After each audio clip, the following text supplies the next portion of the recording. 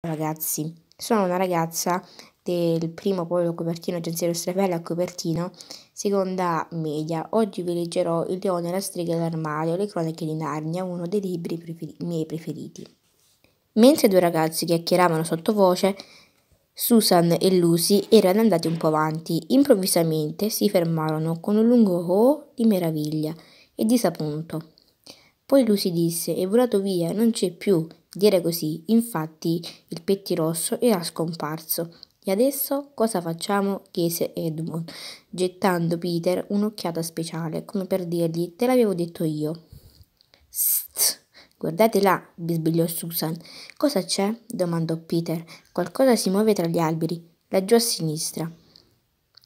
Tutti guardarono da quella parte, aguzzando gli occhi ma non riuscivano a vedere nulla. Eccolo di nuovo, disse infine Susan. Stavolta l'ho visto anch'io, aggiunse Peter. È ancora là, dietro quel grosso albero.